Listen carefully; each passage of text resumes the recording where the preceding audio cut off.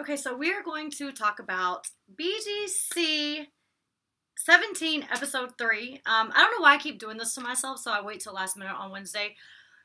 I didn't do it on purpose today. I had to help Kelsey with some paperwork. I was doing stuff for my app. So it's like last minute all the time. So I need to rush, even though I'd be blabbing my mouth and talking forever. I'm about to be late to class once again, just like last week. And y'all know I hate being late. Um, and then next week, so I'm going to move these pictures down because it's making me really mad. You can't see how pretty they are because I bought them for in here. So I don't know if this trim, I don't know. I'm going to figure it out to where you can see it more next time. Oh, so the baby shower was a lot of fun. I went to Natalie's baby shower, and I'm not going to tell you the whole Rocky situation yet because I don't have time to talk to you, and I would like to do a separate video for that because I do have a lot to say about it. I don't know why. It sounds like I'm talking so loud, like I'm screaming. Um, so I'm going to do a separate video tomorrow for you guys that I'll post, and um, I'll tell you about the situation with Rocky and the baby shower and how everything went. But it was a lot of fun. Okay, so the beginning is, you know, I always get the titles wrong. I got it right this time. So the title is 24 Hours in the BGC.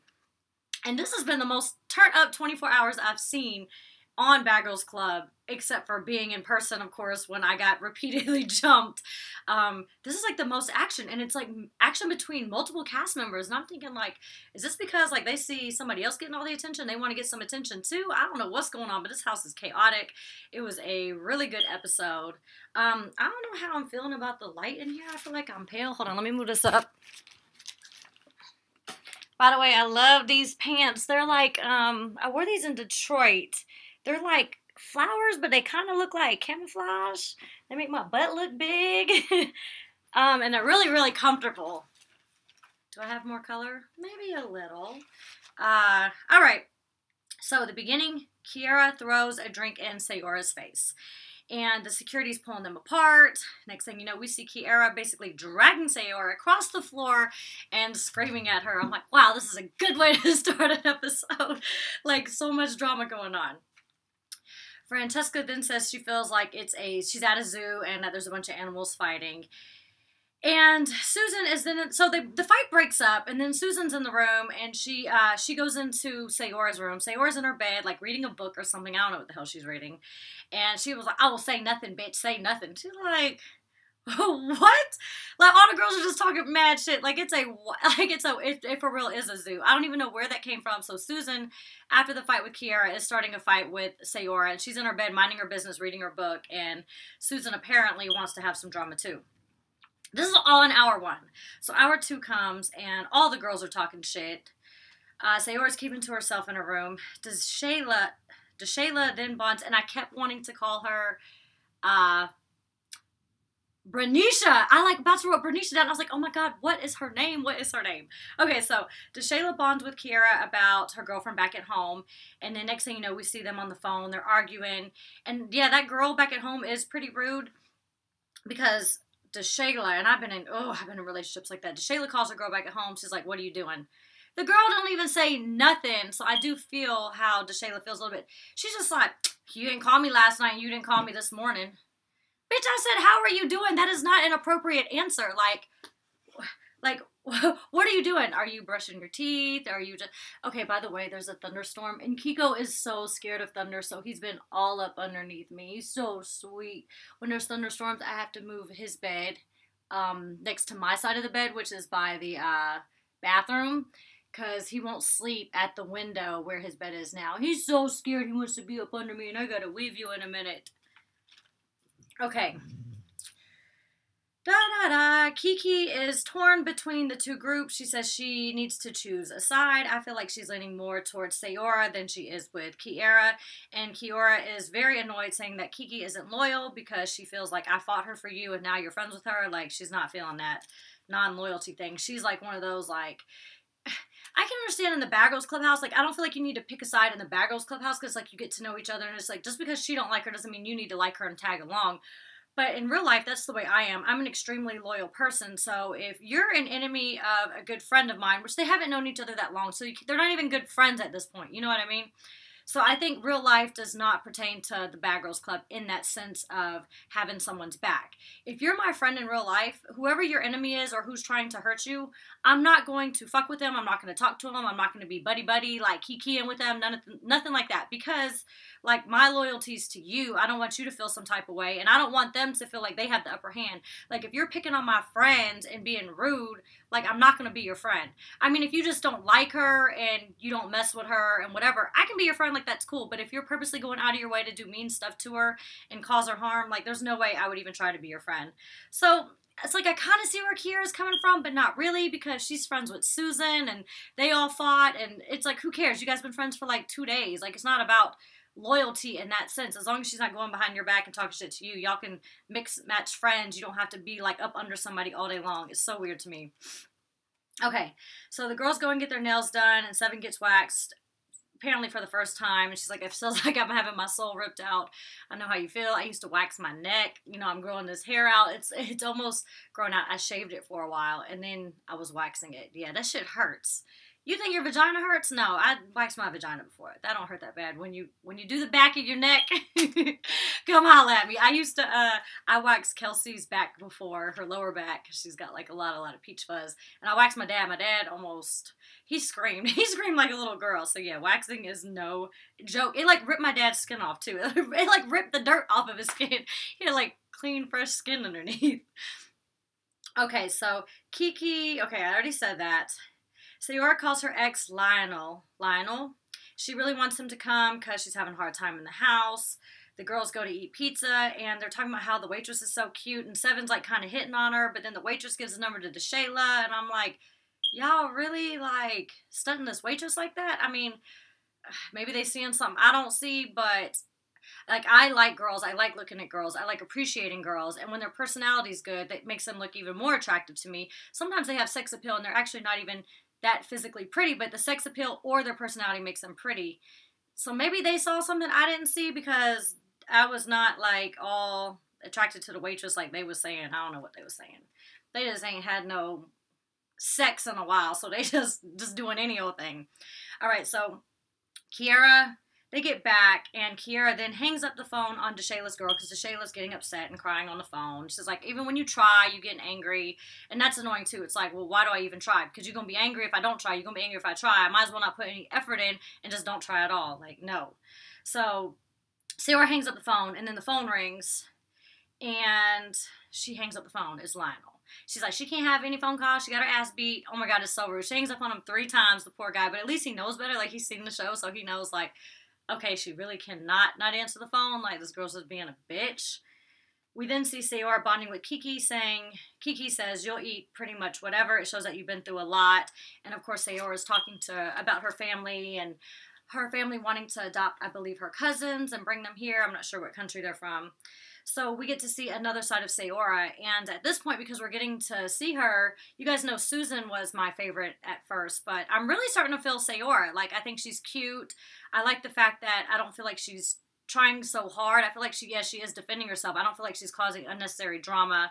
I like that we're seeing more of her side. I like that she's not bougie. She's sitting on the floor. She's eating. She's not being all picky, stuck up. So I don't know. I'm really, really fe- feeling uh, Sayora at this point. She's actually my favorite up to this point. Okay. Now Kiera starts yelling at Kiki, saying she'll beat her up. She beat up Sayora for Kiki, and she thought that that was her bitch. So now they fighting. I don't know. We like seven hours in. I don't even know what's going on. Okay, so now the keys basically break up momentarily. Fran says to Kiera, I don't I don't think you should be yelling at Kiki. And Kiera says to Fran, like, I'll cuss you out too. She's like, oh, hold up. So I'm waiting to see Fran's other side because she keeps saying, like, well, I'm going to say something next time. It's going to come out of me. So I'm waiting to see that because I, I, feel like she is to flip. she to flip and eventually because we ain't paying her no attention. She, like, in between the clicks, she ain't getting no attention. But she is getting some camera time because Susan ain't getting no camera time even though episode one was the Susan show. Susan kind of fell off the map. Okay, so Lionel then calls again. He's on the way. Sierra already knows that it was Kiera hanging up on him. And Kiera starts fighting in the beauty room with Kiki. I'm like, damn, this bitch just want to fight, fight, fight. And it is funny. So I said this was a really good point. Seven is calling Kiki out saying you want you wanted drama and now that you have it you don't want it. That is so true because I feel like Kiki was being a bully the first two episodes and now that the drama's coming to her from somebody that's like physically equal or stronger being Kiera. Now she don't want no part of the drama. Now she want to be cool and friends and whatever. It's like she started something that she couldn't finish. So now she don't want the drama and I completely agree with 7 on that point. So all the girls go to the rooftop. No, not all the girls. Some of the girls and Lionel when he comes go to the rooftop. Kiera makes the comment, like she's like, "Oh, his big square head." I don't know. I think Lionel's cute. So she makes the comment. Um, she grabs the bottle, like all happy, like, "Oh, I need to mix this with something." He's like, "Oh, the red cups downstairs. I brought red cups." She's like, "Oh, you brought this? I don't want it no more." Like, bitch, he ain't even do nothing to you. Like, calm your ass down. She don't want the drink. Um, she's being rude to Lionel.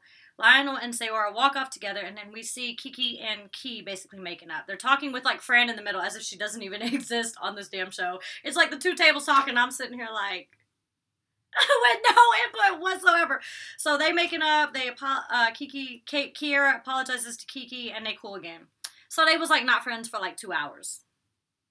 A little bit of drama.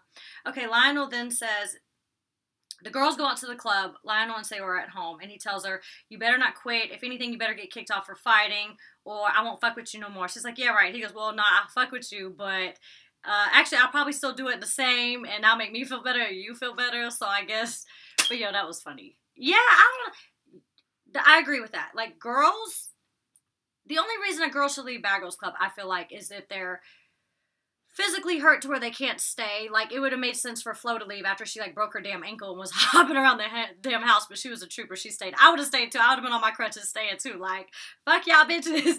So if you're physically like really extremely physically hurt, or if a family emergency happened back at home, I would say those are the only two reasons that you should quit because you put all this work in and went to these castings and you know you know what you signed up for. There's been 16 damn seasons. You know what this is all about, so you shouldn't quit. Um, so I agree with him. Like, if you get, if you leave and you should be kicked off the show or leaving for a family emergency or because you are physically too hurt to stay there. That's it, period. All right, the girls go out and the East Coast is getting points. They all having fun. Kiki and Key are cool again. Kiera then comes home and she's screaming. She's like, It's time for your company to go home. She's being rude as fuck. She says, Kiki then whispers to her, like, stop. And of course, she doesn't stop. She just keeps going. Sarah gets out of bed and she's like, uh, all right, well, let's fight then. And Lionel's laying in the bed. He kind of like, what is even going on? They arguing back and forth. Lionel then gets up out of bed. It looks like just because he don't want to be sitting there. Not sort of aggressive anyway. He's not even saying anything. Um, and Kiera makes it seem like he's trying to do, oh, you don't stand up in our house. He's a human being. What do you mean your house? Like you can't tell somebody not to stand up. He's not even coming for you.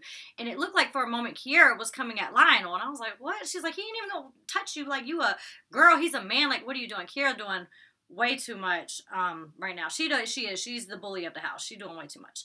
Kiki then is upset that Lionel has to leave, and Kiera says his weak ass. And I like that Sayora stood up for him. She's like, he's not weak. And then of course Kiera swings on him they fight, and then Susan says she loves seeing, and I swear she said the name Sarah. I rewind it three times. She said, "I love seeing Sarah get her ass kicked. It's funny. Her name ain't Sarah. It's Sayora. What? It's not. It's not Sarah. I'm Sarah. It's not Sarah." Okay, Kiki is crying. She says that she's basically trying to like break the two up from fighting. She's like has her arms around Kiera since they best buddies again, but not really. Fran is putting ice on Sierra's face. She's got like a little cut between her eyebrows. And uh, the producer sends Kiera to the hotel, which I completely agree, agree with. I hope she gets sent home. Um, now I'm mad at Kiki again, saying, bitch, you don't have nothing to say. Now I'm mad at Kiki? Now I'm mad at Kiki. Oh! Kiera is now mad at Kiki again, saying, bitch, you don't have nothing to say. I don't know. It's all over the place.